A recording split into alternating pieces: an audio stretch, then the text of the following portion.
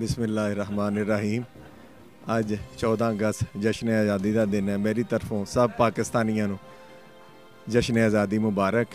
ਤੇ ਸਿਰਫ ਜ- ਅੱਜ ਦੇ ਦਿਨ ਦਾ ਪੈਗਾਮ ਇਹ ਹੀ ਹੈ ਕਿ ਇਹ ਬੜੀਆਂ ਕੁਰਬਾਨੀਆਂ ਨਾਲ ਸਾਡਿਆਂ ਬਜ਼ੁਰਗਾਂ ਨੇ ਇਸ ਨੂੰ ਹਾਸਲ ਕੀਤਾ ਹੈ। ਤੇ ਇਸ ਦੀ ਕਦਰ ਕਰੋ। ਔਰ ਹਰ ਕਿਸੇ ਨੂੰ ਆਪਣਾ ਆਪਣਾ ਇਹਦੇ ਵਿੱਚ ਰੋਲ ਅਦਾ ਕਰਨਾ ਚਾਹੀਦਾ ਹੈ, ਪੋਜ਼ਿਟਿਵ ਸੋਚ ਨਾਲ, ਪਿਆਰ ਨਾਲ, ਮੁਹੱਬਤ ਨਾਲ। ਇਹ ਸਿਰਫ ਇੰਨਾ ਹੀ ਕਹਾਂਗਾ ਕਿ ਅਸੀਂ ਪਰਦੇਸ ਕਟਿਆ ਹੈ ਤੇ ਪਰਦੇਸ ਵਿੱਚ ਦੇਖਿਆ ਕਿ ਆਪਣੇ ਮੁਲਕ ਦੀ ਕਦਰ ਕੀ ਹੁੰਦੀ ਹੈ।